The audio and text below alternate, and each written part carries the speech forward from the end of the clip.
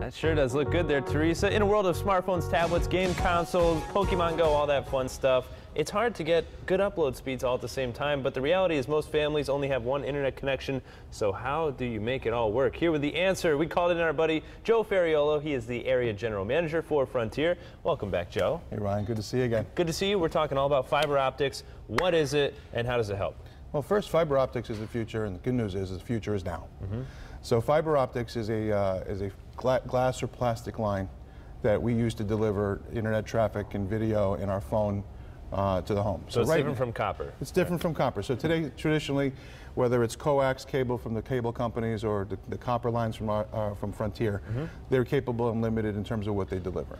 We are now bringing fiber to the home, which means that we will deliver a fiber line into every residence and that's now capable of delivering faster speeds up to 1,000 meg or 1 gig of wow. speed. Which is significantly higher than what it is now, because when you think about it, families, when, when you log on and, and somebody's playing PlayStation uh, and, and, the kid's on Pokemon Go and the mom's on the laptop, everything starts to slow down. So, so that's the end of this. Yeah, and that, that's called buffering, right? And a lot of times what happens is, is you've got a certain amount of bandwidth coming into the house, that are a certain amount of speed, and everybody wants to take advantage of it. So when everybody's using it, it slows down and then it lags. So you'll be streaming Netflix, and then all of a sudden it'll start to freeze, and, and, and then you start hearing yelling from the other room saying, what are you doing, get off the internet. Mm -hmm. So this now will allow us to deliver an incredible experience to our customers, more speed than they'll ever know what to do with, yeah. and be able to stream multiple devices without the lag time and, and, without the issues.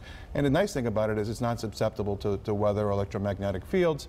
It's really, you know, allows us to be able to deliver a seamless high value, high powered entertainment system to a customer. And they can stream CT style online at WTNH.com. There you go. They'll be watching repeats of this segment right here. So, so what's the, the install process like? So the install process is no different than anything else, except for the line coming to the house now will be replaced with a fiber line that we'll bring into the home as opposed to the copper line that currently exists. Mm. And we're in the process of deploying this throughout the state of Connecticut. We're doing it at an initial rollout, uh, going to touch roughly 24,000 homes this year. Wow. And, and, and, on pace to start to double that and triple that as we go forward as we deploy it. So the good news is, is that the folks in Connecticut get to kind of tell us where they want it. Excellent. Um, so, you know, you'll be posting my email address here shortly, or they call the 1-800-FRONTIER uh, number, and ask for the services. They're available now in limited areas. Very good. But certainly, by all means, let us know where you are. And if you get a neighborhood that wants to sign up, you get 20 or 30 of your neighbors, contact us, let us know. We'll come out to see you next. Hold on, somebody's calling Joe. I'm, I'm going to take this call. It's Steve. Joe, thank you so much for joining us here today on the show. Thanks, Steve, Ryan. You, you're going to have to hold for one second because coming up here on the show, if you're in